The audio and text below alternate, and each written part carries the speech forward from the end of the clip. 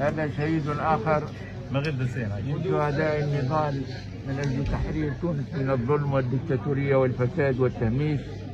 هذا ضحية أخرى من ضحايا الفقر والتهميش. رحم الله سامي. فقد أمضى أكثر من عشر سنوات في السجن مناضلا ضد الاستبداد والدكتاتورية. ورغم أن الله سبحانه وتعالى يسر لهذه الثورة بهذا النضال أن يفضي إلى نتيجته في إسقاط الدكتاتور وقيام الديمقراطية وقيام الحرية. ولكن مضت أكثر من عشر سنوات لم ينل فيها سامي الحد الأدنى من من الكرامة.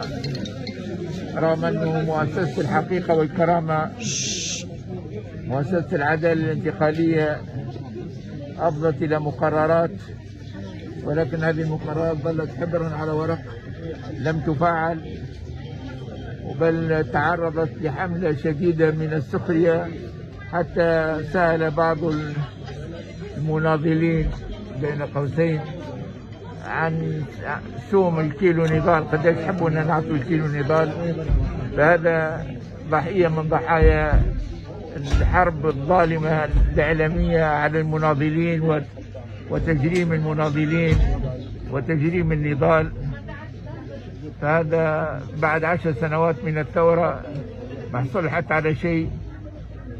عنده ورقة عنده ورقة معناها مقرر من مقررات العدالة الحقيقة والكرامة ولكن حتى حد ما ترجمها لأنه ثم حملات إعلامية متوالية على النهضة وعلى كل مناضليها. فهذا ثمرة من ثمار الحملات الإعلامية الظالمة على النهضة وعلى شبابها وعلى مناضلي الثورة اللي جابونا الحرية. رحم الله سامي رحمة واسعة. و رزق أهله جميل الصبر والسلوان. وأورث التونسيين وأورث الشباب فيه خيرا إن شاء الله. ونسأل الله الشفاء للجرحى جرحى هذا الحريق الذي اندلع اليوم. ربي يعجل بشفاء أخينا علي العريض وأخينا الهاروني وكل الأخوات والإخوة الذين نالهم من هذا الحريق أذى شديد.